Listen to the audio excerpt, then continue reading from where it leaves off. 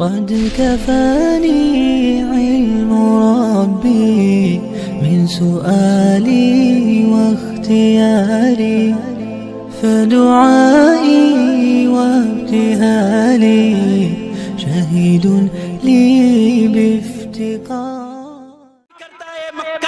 اے امت مسلمہ کے لوگوں کافر تو بدتین ہے ہی ہے، وہ تو بے دین ہے، ہمارے پاس دین ہے، کلمہ پڑھا۔ یا رسول اللہ، ہم آپ کی غلامی کے ساتھ زندگی گزاریں گے۔ اے اللہ، ہم آپ کی تابیداری کے ساتھ زندگی گزاریں گے، وعدہ کر کے بھی اپنے وعدے سے مکر گئے، اس لیے اللہ کا عذاب آ گیا۔ بددینی ہماری تباہی کی وجہ ہے۔ بددینی ہماری تباہی کی وجہ ہے۔ ما اصابکم من مصیبت فبما کسبت ایدیکم ظہر الفساد فی البر والبحر بما کسبت اید الناس لیزیقہم بعض الذی عملوا لعلہم یرجعون قرآن کریم کہتا ہے، جب انسان کے اوپر کوئی مصیبت آتی ہے، کوئی پریشانی آتی ہے۔ انسان کے اوپر کوئی بلا نازل ہوتی ہے۔ زمین کی پلیٹیں ٹکراتی ہیں۔ آسمان سے آگ برستی ہے۔